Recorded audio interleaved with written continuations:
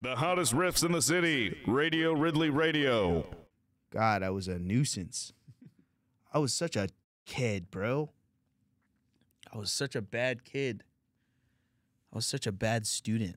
You're still a little stinker, dude. I am a little stinker. I, that's another thing. I've I've I've brought back the mis- mischievous nature. I think it's okay to be to have a little mischief here and there. Well, we were at Chipotle last week, and some lady was some lady or thing. I don't know what it was. Man, woman, unidentified human being zonked in the Chipotle, just dead in the Chipotle, just fucking taking a fentanap, just fucking. I walk in, it's quiet as a mouse in there. the people, the people in line ordering are like, "Can I get a um, let me get a uh, let me get a barbacoa burrito. Yeah, I'm gonna do white rice, pinto beans. Yes, pinto. People eating Corn salsa. yeah, corn salsa, please. People eating, trying not to laugh. I'm like, what the fuck's going on? Quiet as fuck. Sleeping Beauty over here, dude. Just fucking dead in the Chipotle. I go in, take a piss, go in the bathroom, take a piss, come out. Still knocked out. On my way out, open my IG. Let's show the people on the podcast in case you guys haven't been. I'm doing this new thing on my Instagram where I just document the homeless people of Austin because they've got to be stopped. You guys already know R3 is not a pro homeless pro homeless podcast. We have I've I used to be homeless, all right? And this this shit is crazy. There's a time and a place to do things, and sleeping in in a Chipotle is not one of those things. Go find a nice apartment complex hallway to sleep in. Go go crawl under the tire of a truck to stay warm at night. Do something, but don't bother to, the the hardworking folks at the at the local Chipotle. Chipotle Shorty zonked. Shorty was zonked.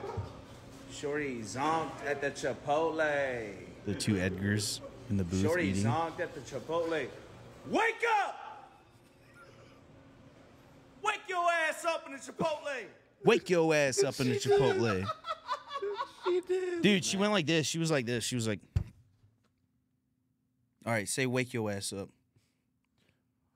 Wake your ass up in the Chipotle. Yeah. Here, wait, I'm, gonna, I'm gonna try to freeze frame it. I got ready. You were like, this is right after you said wake your ass up. Here, here, I'll, I'll act it out as I hear it. All right, ready? Wake your ass up. What? What? Look at her. What's going on? Who has awoken me from my slumber? In the Chipotle. Phone on the table, suitcase in tow. The Chipotle sweets. Who has who has who has awoken? Who has awoken the guardian of Chipotle? who has awoken me from my thousand year slumber? who dare wake me? Who dare? The smell of barbacoa in the air. I can smell. I can smell the barbacoa. Who dare awaken the guardian of Chipotle? Me, bitch. Wake your ass up. That'd be so funny. Who dare awaken me from my thousand year slumber? Me, what's good? What's really good, bitch? Oh, all right, then. I'm gonna up the pole on you. They call me Alarm. That's so alarm. It's your boy Alarm. Wake your ass up. New character unlocked. It's your boy A Alarm. Wah, wah. Wake your goofy ass up. It's Radio Ridley Radio. New character unlocked. I was trying to see if we could find the voice of New, new, new, new, new character unlocked. Do it. Do the wake your ass up with the megaphone. Wake your ass up! Wake your goofy ass up! It's Radio Ridley Radio!